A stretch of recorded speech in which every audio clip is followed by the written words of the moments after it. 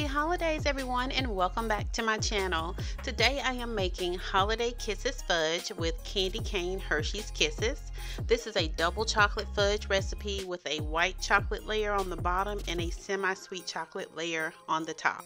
Recipe info is in the description box along with links to products that I use in this video. And while you're here, don't forget to subscribe and hit that like button and notification bell to be notified of new recipes first.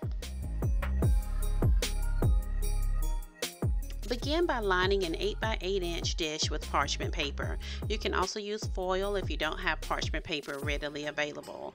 For this recipe, we're going to divide the sweetened condensed milk and use half for the white chocolate layer and the other half for the semi-sweet chocolate layer. We're also going to divide the vanilla and use 1 2 teaspoon for each layer as well.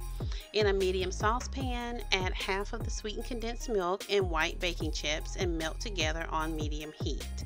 Then remove from the heat heat and add 1 2 teaspoon of vanilla and stir until combined. You can prepare this recipe using your microwave as well. If using a microwave, heat on high in 30 second increments, stirring in between until smooth.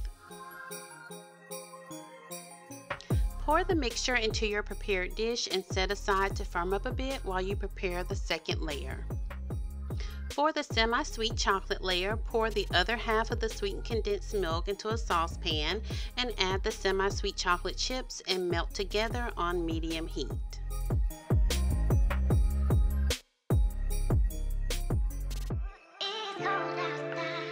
Once the semi-sweet chocolate chips are melted, remove from the heat and add 1 2 teaspoon of vanilla. The mixture on top of the white chocolate layer and smooth to the edges.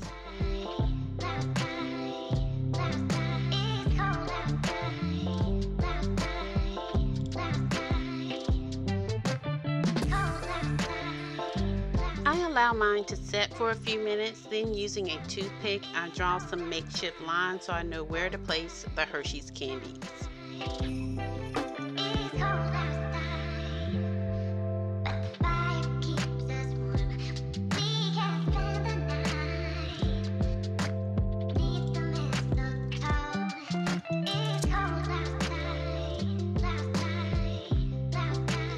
Place in the refrigerator for two to three hours or until completely set, then cut into squares.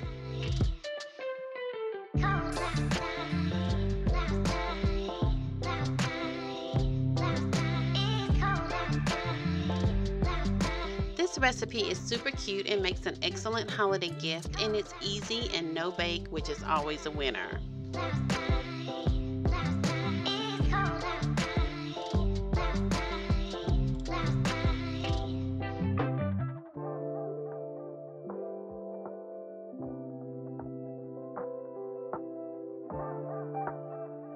If you like this video, please give it a thumbs up. And if you're not subscribed yet, please do so before you go and turn on all notifications to get notified the moment a new recipe goes live.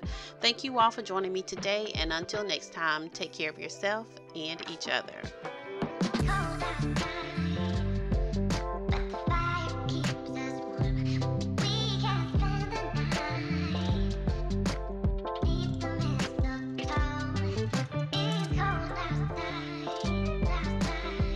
While you're still here, check out some of my other most recent videos.